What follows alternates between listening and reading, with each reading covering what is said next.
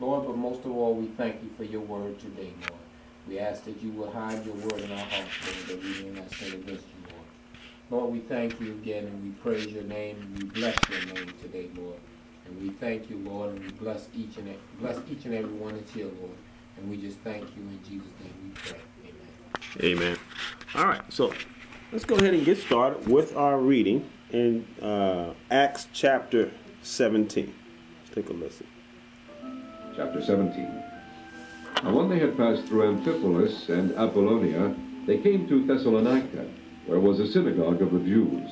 And Paul, as his manner was, went in unto them, and three Sabbath days reasoned with them out of the Scriptures, opening and alleging that Christ must needs have suffered, and risen again from the dead, and that this Jesus, whom I preach unto you, is Christ.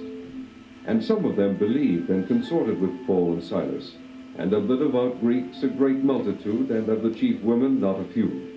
But the Jews which believed not, moved with envy, took unto them certain lewd fellows of the baser sort, and gathered a company, and set all the city on an uproar, and assaulted the house of Jason, and sought to bring them out to the people.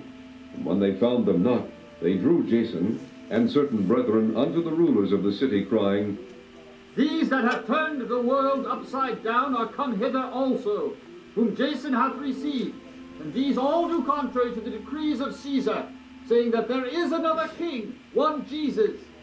And they troubled the people and the rulers of the city when they heard these things. And when they had taken security of Jason and of the other, they let them go. And the brethren immediately sent away Paul and Silas by night unto Berea, who coming thither went into the synagogue of the Jews. These were more noble than those in Thessalonica, in that they received the word with all readiness of mind, and searched the scriptures daily whether those things were so. Therefore many of them believed, also of honorable women which were Greeks, and of men not a few. But when the Jews of Thessalonica had knowledge that the word of God was preached of Paul at Berea, they came thither also, and stirred up the people. And then immediately the brethren sent away Paul to go, as it were, to the sea. But Silas and Timotheus abode there still. And they that conducted Paul brought him unto Athens, and receiving a commandment unto Silas and Timotheus for to come to him with all speed, they departed. Now while Paul waited for them at Athens, his spirit was stirred in him when he saw the city wholly given to idolatry. Therefore disputed he in the synagogue with the Jews, and with the devout persons, and in the market daily with them that met with him. Then certain philosophers of the Epicureans and of the Stoics encountered him, and some said, What will this babbler say? Others some, He seemeth to be a setter forth of strange gods, because he preached unto them Jesus and the resurrection. And they took him and brought him unto Areopagus, saying, May we know what this new doctrine whereof thou speakest is? For thou bringest certain strange things to our ears. We would know therefore what these things mean. For all the Athenians and strangers which were there spent their time in nothing else but either to tell or to hear some new thing. Then Paul stood in the midst of Mars Hill, and said, Ye men of Athens, I perceive that in all things ye are too superstitious. For as I passed by and beheld your devotions, I found an altar with this inscription, To the unknown God, whom therefore ye ignorantly worship. Him declare I unto you, God that made the world and all things therein, seeing that he is Lord of heaven and earth, dwelleth not in temples made with hands, neither is worshipped with men's hands, as though he needed anything, seeing he giveth to all life and breath and all things, and hath made of one blood all nations of men, for to dwell on all the face of the earth, and hath determined the times before appointed, and the bounds of their habitation, that they should seek the Lord, if haply they might feel after him, and find him, though he be not far from every one of us. For in him we live, and move, and have our being, as certain also of your own poets have said, for we are also his offspring. For as much then as we are the offspring of God, we ought not to think that the Godhead is like unto gold or silver or stone, graven by art and man's device. And the times of this ignorance God winked at, but now commandeth all men everywhere to repent, because he hath appointed a day in the which he will judge the world in righteousness by that man whom he hath ordained, whereof he hath given assurance unto all men, in that he hath raised him from the dead. And when they heard of the resurrection of the dead, some mocked, and others said, We will hear thee again of this matter. So Paul departed from among them. albeit certain men clave unto him and believed, among the which was Dionysius the Areopagite, and a woman named Damaris, and others with All right. so there we go, chapter 17. Now, uh, in a nutshell, chapter 17 takes us to three cities. It takes us to Thessalonica, Berea, and Athens. And in each of those cities, we see how um, there was a certain response to the preaching of Jesus. One thing that you can always count on is that when you start talking about Jesus, you're going to get people to either come closer, and they're going to come closer to hear, or come closer to fight, or they're going to go away. They're go away because they don't want to hear it. They're going to go away because they, they kind of believe it but don't want to accept it. And some people just don't want to even acknowledge it as possibly being true. But the, the name of Jesus always produces strong reactions in the majority of people. It always has been, and it probably will always continue uh, until the Lord comes back.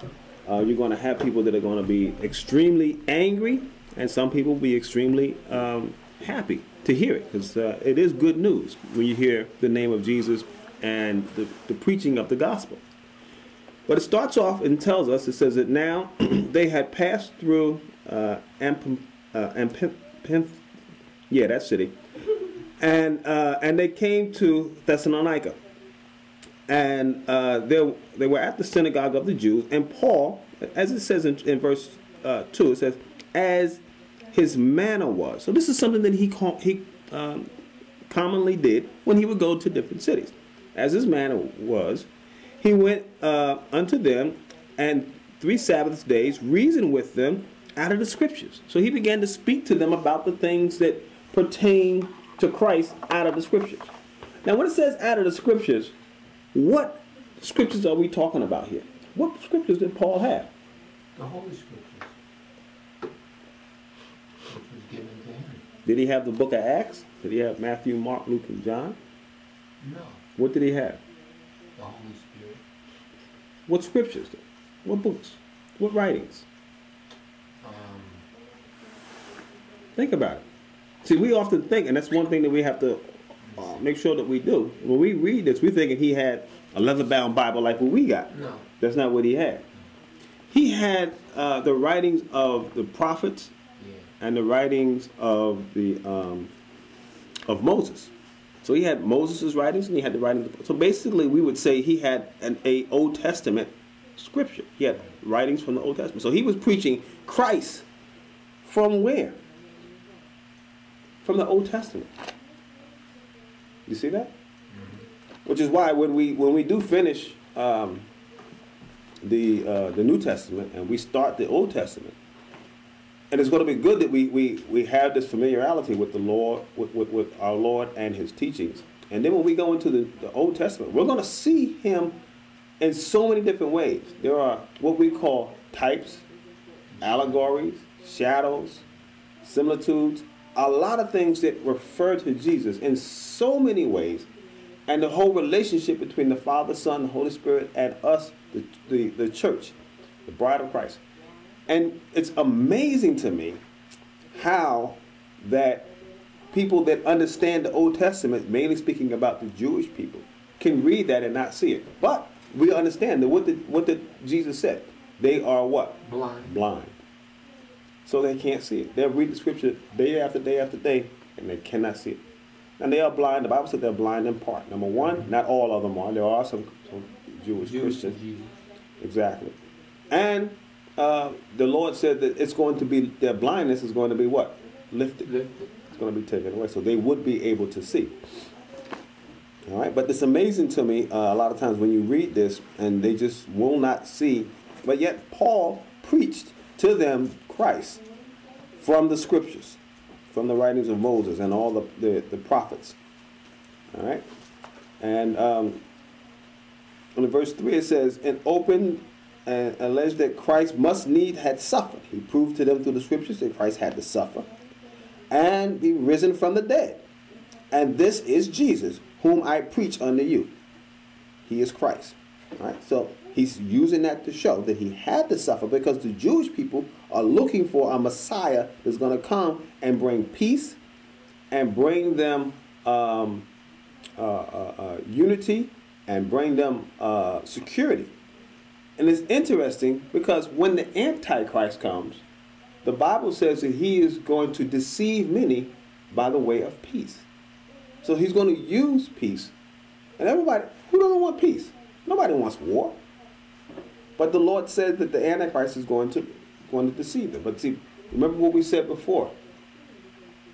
That the devil is a liar. He, the Bible says he is the father, Father. of lies. And the Antichrist is coming in the in the vein and in the spirit of the devil. So no matter what he does or what he says, and no matter how good it seems to seem to be, it's going to be a what? A lie. A lie. But you also can keep this in mind. God cannot lie. So no matter if you are a child of God, no matter how bad your circumstances seem to be, no matter how rough they seem to be going, God says that He has blessed you. And you say, my goodness, I don't I don't seem don't seem like it's blessed. But you got to keep in mind, who told you you were blessed? God said it. God said, if you give your heart to the Lord, if you follow Jesus, you are blessed. And he cannot lie, no matter how the circumstances seem to be. Now, if you're like me, that's kind of hard to deal with sometimes when you go through the tough times. You have to remind yourself, don't you? Wait a minute, you know, God is God is good. He's not, you know. I often think about remember, and we we talked we, we saw when a couple of chapters previous where Peter was in jail, and remember uh, when the angel came and and had to do what? Wake Peter up. What was Peter doing if he had to be woken up? Sleeping. He was sleeping. Wait a minute, man. They, they're talking about how they're going, you know, they, they might uh, whip him or might put him on trial or he might be executed. Peter in the jail doing what? Sleeping. Just, just taking a nap. He learned the lesson. Because remember when Peter was in that boat and that when the waves were going, Peter was a professional fisherman. A boat is not a strange thing to him, nor working on the seas. He knows how to handle a boat. But when that wave came, which was an unusual wave, and the storm hit, Jesus was in the boat too. What was Jesus doing? Sleeping. He was sleeping. You know why Jesus was sleeping? Because he knew I'm not gonna he he didn't let anything that the devil brings upset him. He took a nap. But the, what did the disciples do? They were all anxious and they were like, Lord, Lord, do you not care that we're gonna perish? And he said, Oh ye of what? Little faith. Little faith. All right, and then but then he said, Peace be still. And the, and the waves calmed down. But the point is that you, Jesus was the example. In the midst of all your storms, God says you're going to be blessed. Don't worry about it. And Jesus didn't worry about it so much that he, he took a nap. Well, down here we go down in the book of Acts where Peter now has learned and he's got filled full of the Holy Ghost he sees the scriptures and now he's in jail, bound up. Don't know what his future going to be tomorrow based on the hands of these, these people. But he does know that God has made him a blessed individual. See, the problem that we have today is that the, the, the, the, the modern church is telling you that yes, you are a blessed individual, but your blessings are manifest by how big your bank account is. And that's the that's the, the error that we have with a lot of the popular preaching today. Has nothing to do with your bank account. You are blessed because you know Lord, the Lord, and you have been transformed. The Bible says that we are to not to be conformed to this world, but to be what? Transformed. How? By the renewing of your mind. Jesus told Nicodemus that he had to be what? Born Born again. So that makes you what? A new Creature. creature. You see, um, we are all sons of Adam. We're descendants from the from from from Adam. Um, Adam was the son of who? Adam was the son of God. We are not we were we were not born sons of God. We were born in sin and shaped in iniquity. That's why Jesus told Nicodemus, you have to be what? Born again. Because when you're born again, then you become born not of flesh, but of what? Of the spirit. That's what makes you a son of God. That's why you are blessed. Because once you become born again, you are no longer a son of Adam. You are a son of God. You are a child of the Lord. And that's why you're blessed. No matter what this world tries to tell you, everything this world tells you is a lie. You are blessed because you're born of God. Once you're born of God, you instantly are up. And, and but keep in mind, don't let nobody try to confuse you by telling you, well, you know you're blessed because you got money. That has nothing to do with it. You're blessed because of your heritage. You now come directly from God. Your line from Adam has been erased or covered up, dismissed, and now you have a direct genealogy, if I use that word, or heritage from who? From God. God. That's why you're blessed. So you are blessed, period, because you know the Lord. And we always have to remember that. Because this world will continuously lie to you, to you and to me, and tell us that we're not blessed. Because maybe we got something's wrong with our body, or something's wrong with our with our uh, our bank account, or we got some some uh, family issues, or we got the, that's all a lie. This world will lie to you because it's, who is the prince and power of this world? The devil. And he will lie continuously to us to tell us, to try to convince us that we're not blessed. And then, if he can't convince us that we're not blessed, he tries to distort what being blessed means. And then we get discouraged because we ain't got a million dollars in the bank. You are blessed because you know the Lord and you are a child of God. You have been born again. God cannot lie. Now, if we can rest in that and just go on through through what we got going on here, whatever it may be, trust the Lord. We'll find that the Lord will bring us through however it is He has des- designed to bring us through. And we can go through with many of the different people that have gone through, and some of them, well, from our perspective, looks like they didn't win. It looked like John the Baptist win from some people's perspective, but yet Jesus said John the Baptist was the what? Greatest man born of a woman. All right? So John the Baptist had his what? Head chopped off. We're following Paul. Guess what's going to happen to Paul? He crucified. Paul's going to be, he's going to have his head chopped off. Guess what's going to happen to Peter? He gets crucified. Crucified upside down. Upside down. Wait a minute. I thought you said they were blessed. They were. They were. And they are.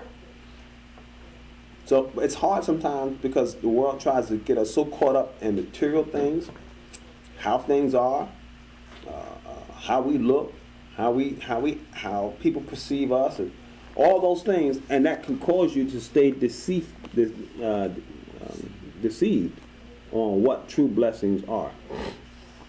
All right, so I went on that rant and rave because I think it's important sometimes for us to understand that, and I think oftentimes we forget it. All right, now um, where was we at? All right, so he, he he preached out of the scriptures that it it it, it must needs be that Christ would suffer.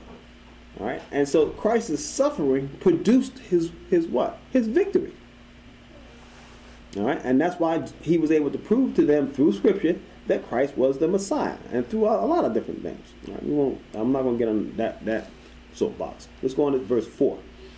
And some of them believed, and consorted with Paul and Silas, and with and, and of the devout Greeks a great multitude, and of the chief women not a few. So that means a lot of the the, the uh, devoted Greeks and some of the head women of that of, of uh, Thessalonica believed.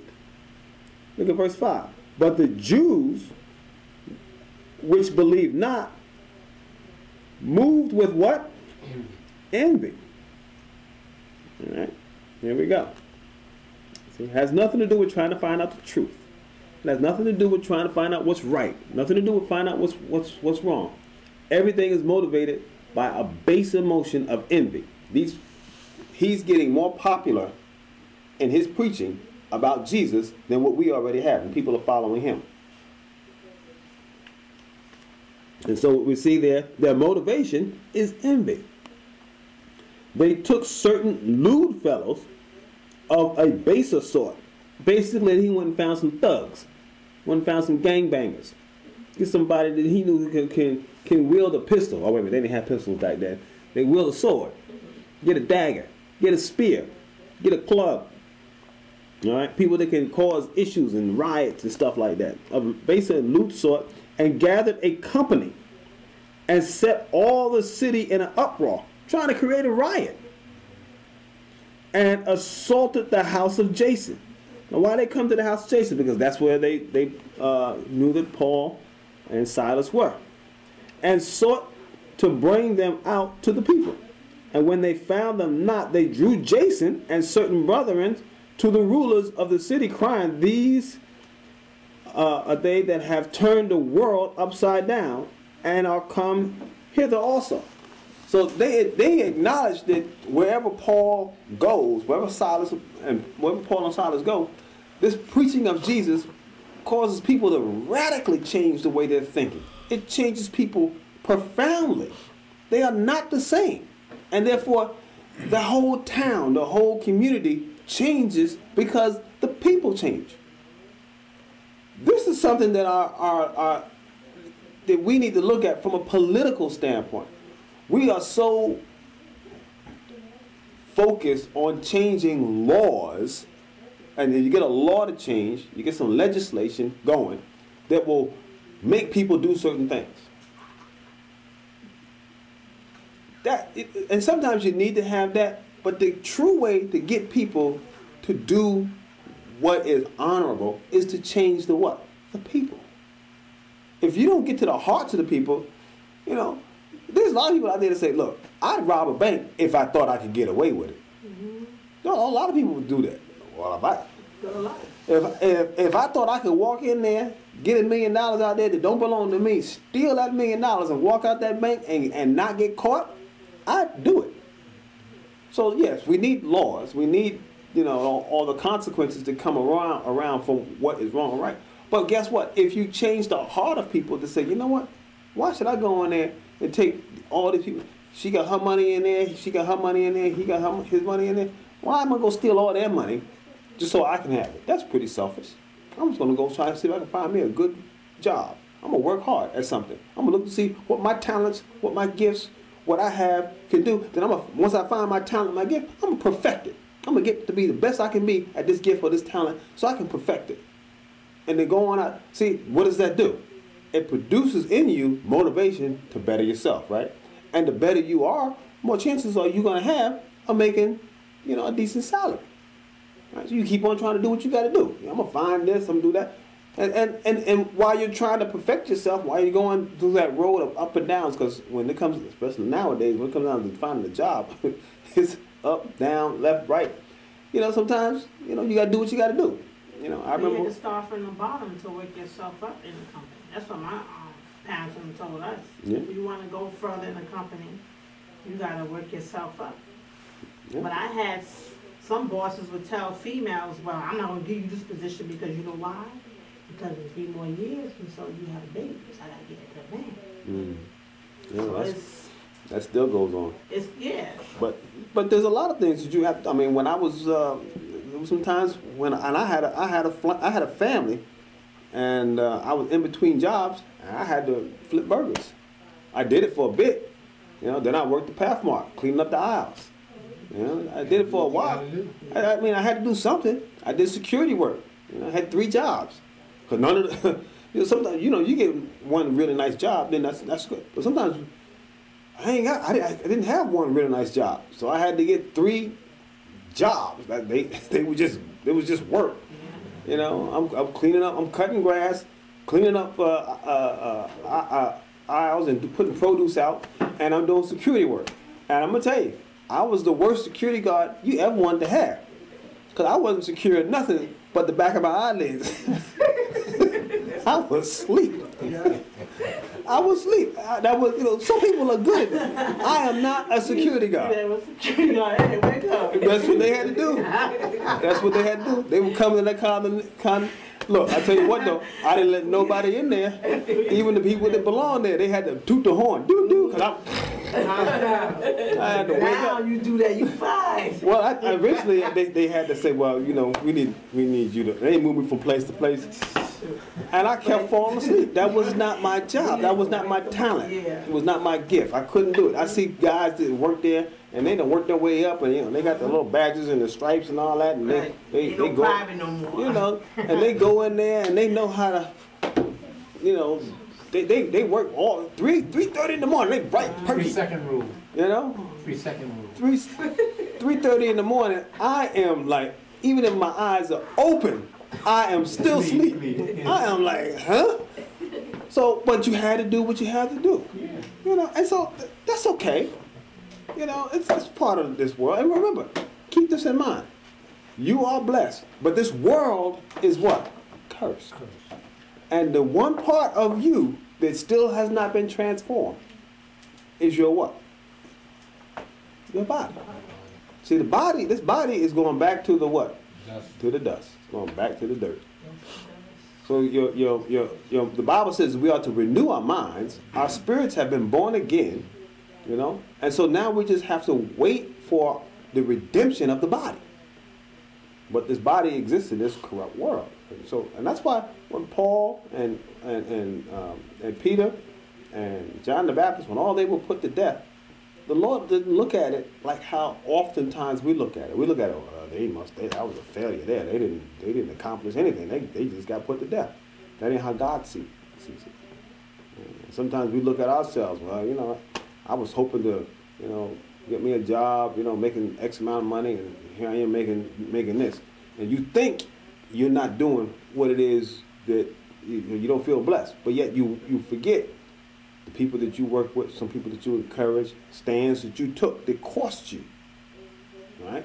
And but people, it cost you, but people remember that. It sticks in people's minds. You never know what kind of seed you plant in people's mind because you took a stand and you didn't get that promotion or you didn't get that because you took a stand, you know, that was right. Or, or, or, or, you voiced your opinion about something that you felt the company wasn't doing that was proper. All those things you know, you don't think that it. Well, look, look, you did that. Look what it got you. Don't do that. Don't even worry about that. God has. Uh, uh, he understands that He puts in you, in your heart and in your mind, rights and wrongs and do's and don'ts. And you'd be surprised how when God wants you to speak up. Now, Paul did the same thing. Paul spoke up, and he got in trouble. You think Paul? You think it cost Paul? But you think Paul thinking, I'm not doing the will of the Lord because I got in trouble? No. It didn't cost him. It cost him maybe being able to stay in that town. It cost him being able to, you know, walk around freely. But look what is written about him in Scripture. Look at his eternal blessing. That's why I said Paul was blessed. And the reason why we know he's blessed because we, we, we're seeing it from what? From God's point of view.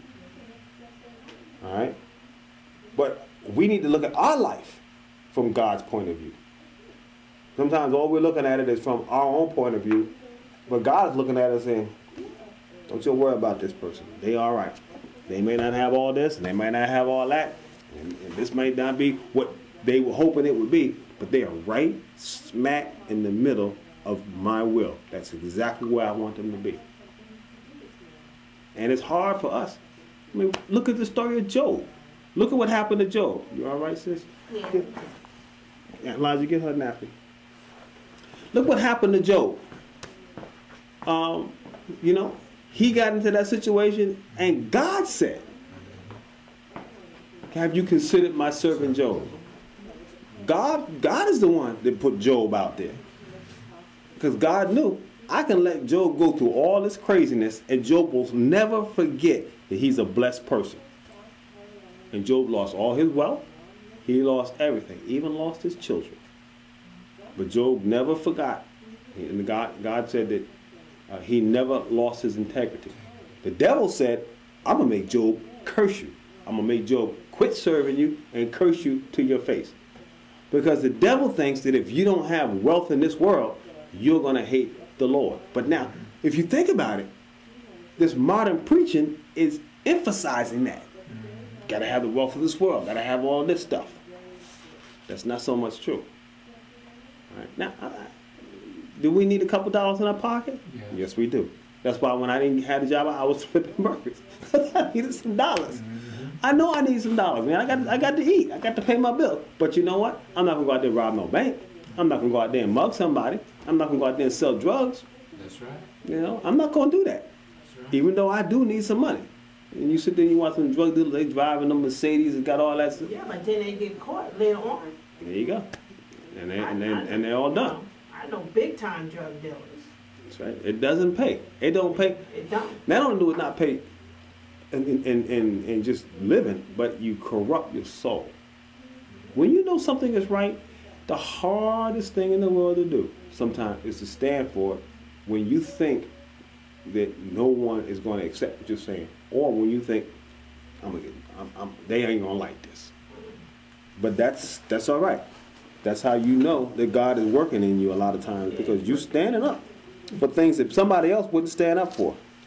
And a lot of these companies today, they, these, these CEOs and all these people, I mean, I watch these folks here at, at where I work at, and they, they cutting people's jobs and salaries and not giving nobody promotions and, and, and, and, and increases. But these top bosses making millions. I mean, when I say millions, I ain't talking about like five, six, seven millions.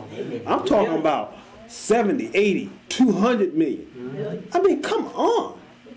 I mean, get, get, you know, you read it and, you- and, and you because you, know they have to post their finance. That stuff is public, so you can go on Yahoo and see what they.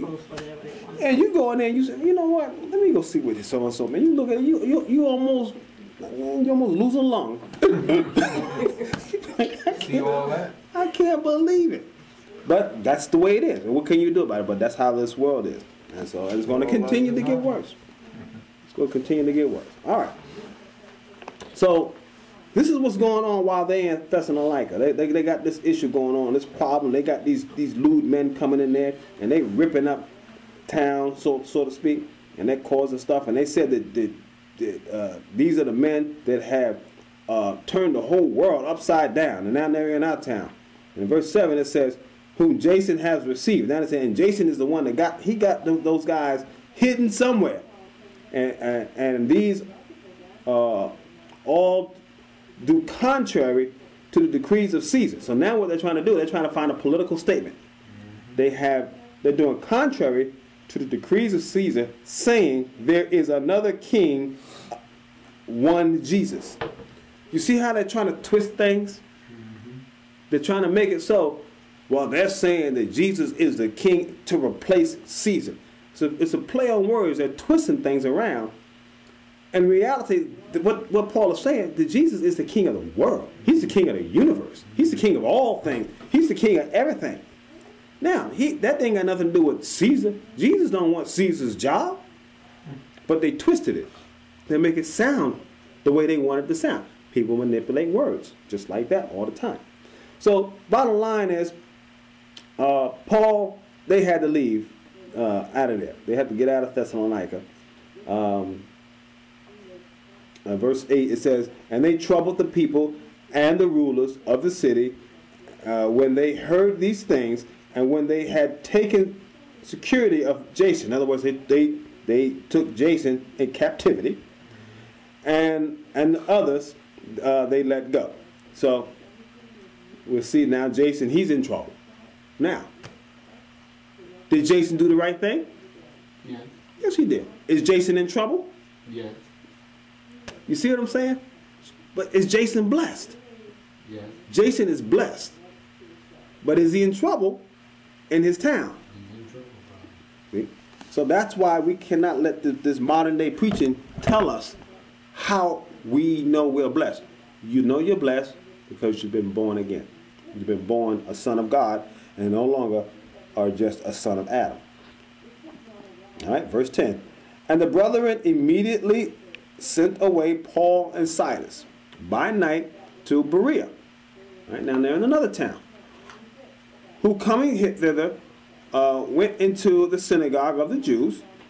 Now, you think that a lot of times you was you say, well, you know, we went into you know Thessalonica and you know we started talking about Jesus to all these these folks in the synagogues. Maybe when we go to Berea, we just handle it a little different. Does it, do they handle it different? No. Not at all. You see, because they recognize my blessing has nothing to do but how I'm treated, how people like me, how people accept me. My blessing is has to do with how I am doing and obeying the word of God. So, verse 11, uh, these were more noble than the Thessalonians. Oh, they were more noble. Why? In that they received the word with all readiness of mind. Wow, they're listening to Paul and search the scriptures daily. Not only are they listening to Paul, but they're doing what? They're studying. They said, "Well, give me a copy of that that of that of that scriptures you got, so I can read it for my what? Myself." And they did it. They did it three, four, five times a year. Daily. Oh, what does daily mean? Often. Exactly. Every day, Every they- day. they going into it. They're checking it out. All right? They they treat scripture like we treat food. Got people that- That got one, it's like written down all in their, in their soul. hmm They see it as as food. They, they they can't go a day without it. All right? You you you ever try to go a day? I mean, when you're feeling healthy, I'm not talking about when you're sick. You know, when you're sick, you can sometimes you, you have the flu, or you, you you don't want no food. But when you normal, healthy, you try to go a day without eating. How old is your son? I go with Well, Seventeen. That's He's fast. 17. 17 year old boy. Mm-hmm. You ever see him go a day without eating? Not a minute. Not a minute. You see this little fellow over here? Mm-hmm. 12 years old. If I tried to make him go a day without eating, it'd be on the news. Because it'd be some uproar. But boys have big appetites. They, they do. Yeah, they do. You're right. But But the point- son, would- you throw it down, That's boy. I Don't do nothing. Be like, all right. And they don't want no one egg and a half a piece of toast or No, I nothing. got a no. I got a brother that eat a whole loaf of eggs and the whole dozen. Mm-hmm. So it's like nine of us. I got seven brothers, Yeah. yeah. They, they can eat. but I have a brother that can, don't eat for like. Oh, here you go. The Mhm. one he eat, he just hmm But now, but now, Muslim, whatever he, whatever. Now transform that to, to the spiritual appetite. See, if our spiritual appetite works with the desire that our fleshly appetite has, we would be hungry for the word.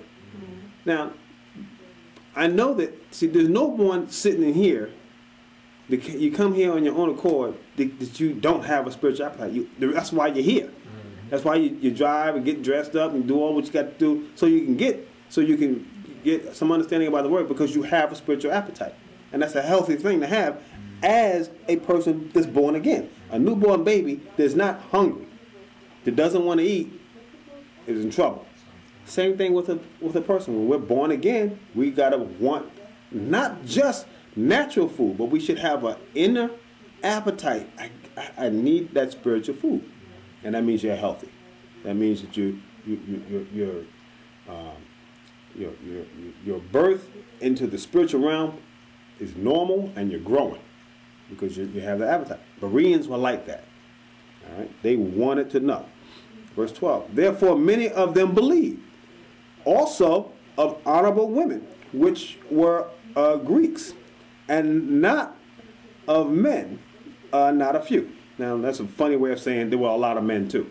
Not of men, not a few.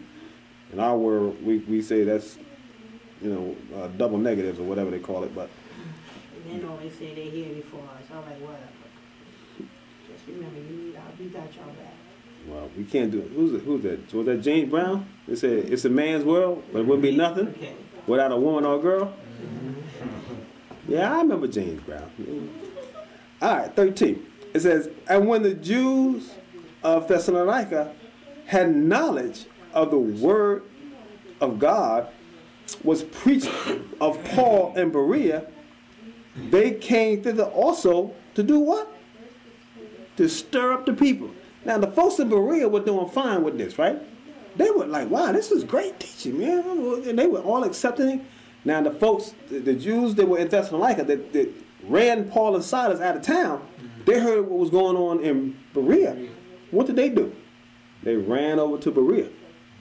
We gotta go. We gotta go get those. Let's get those thugs. Let's go get those lewd fellas that we had to help stir up stuff here and send them over to Berea, and let's do the same thing. You see how the devil works?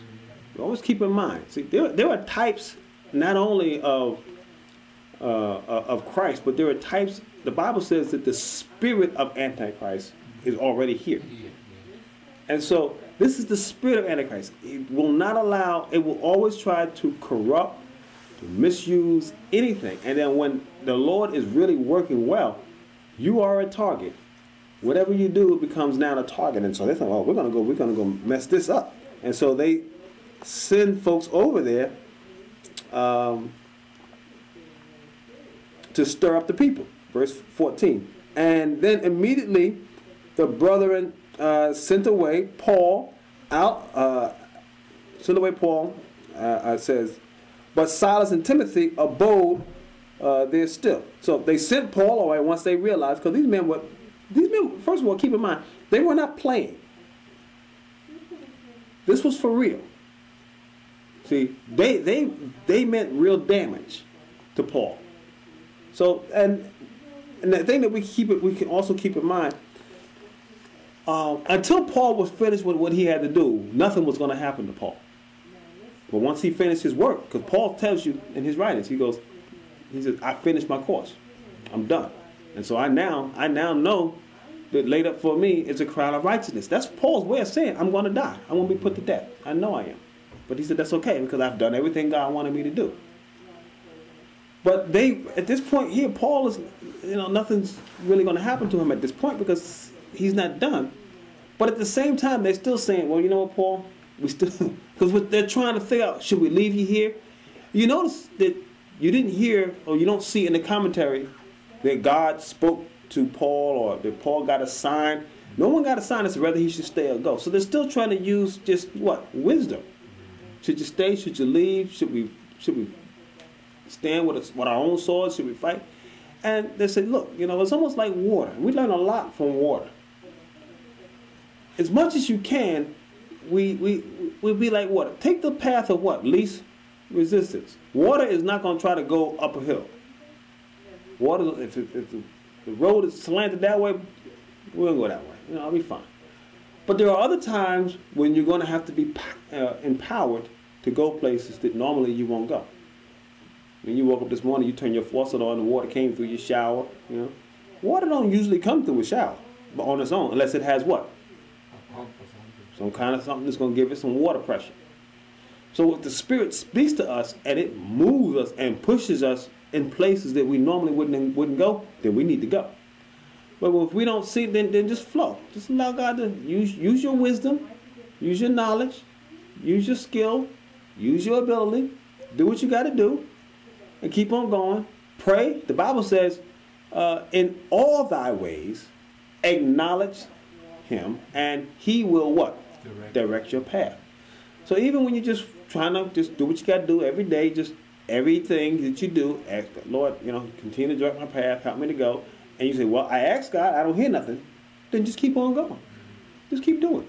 God said, because when you need to make a course correction, and it's going against the grain, you will be empowered. You will get some water pressure to go in a direction that normally you would not be able to go in. But other than that, just just go on the flow. Be a river. Just move. Just like the God lets these, like let the Mississippi go and the Nile roll. You flow. All right. And so Paul is like, you know, they're like, we're gonna get Paul out of here. That seemed like a wisdom, a wise thing to do. Now, see, some people will say, no, I ain't. I'm, I'm gonna stand in the power and the might of God. Come and hit me, shoot me, shoot me. I got the spirit of God. Pow pow. oh my God. you know, so we, you, you need wisdom. All right? There's no need to put on no cape or nothing because guess what? We are not God. We are born again, children of the Lord, and we need God's direction.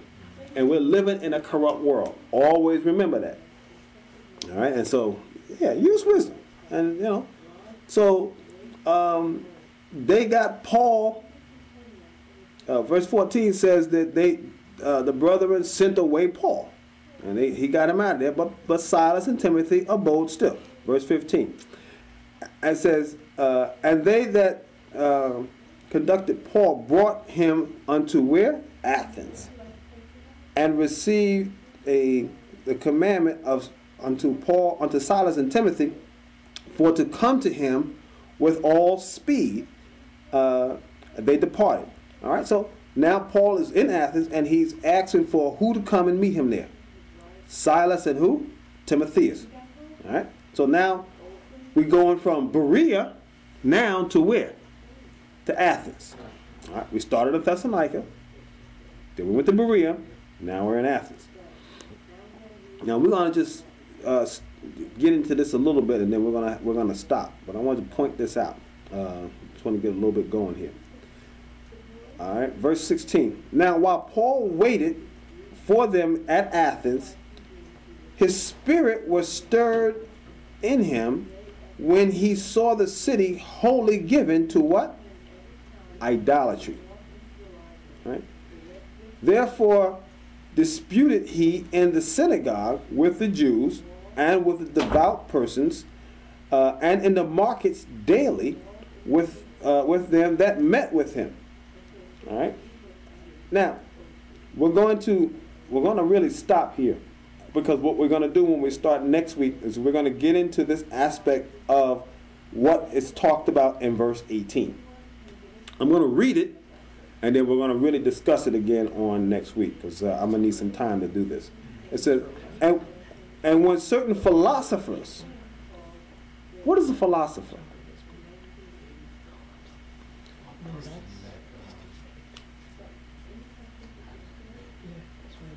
He's a person that does what? Tries to figure out how things work that we can't really figure out. Exactly. So he tries to tell you, a philosopher tries, well, what actually is self awareness? What is consciousness. How come we're concerned about whether our shoes uh, uh, have holes in them, but a dog will walk through with briar patches stuck and stuff stuck to his, his fur coat, and as long as he don't have no pain, he could care less. Yeah.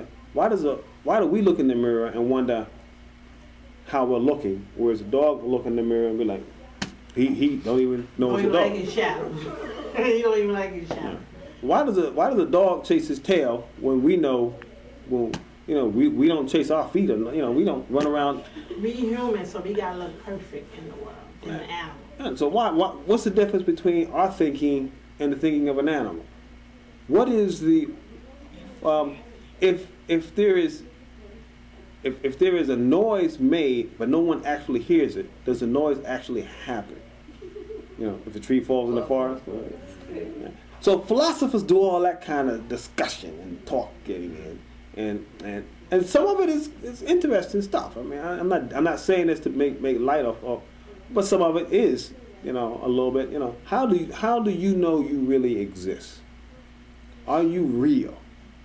Are how do you know that uh, you are who you say you are? And so they go into all these so-called deep questions. And so we want to spend some time and talk about verse 18. It says, Then certain philosophers of the Epicureans and of the Stoics account, uh, encountered him. All right, and so we want to get into what these philosophers, especially these Epicureans and Stoics, what are they, who are they, and what is this thing that's going on, and why was Paul so moved by their idolatry that he saw, and what did he see when he went into Athens? that made him go, that made him so stirred up about uh, all these things. So we'll stop there and we'll pick all that up again on uh, next week. All right. Any comments or questions?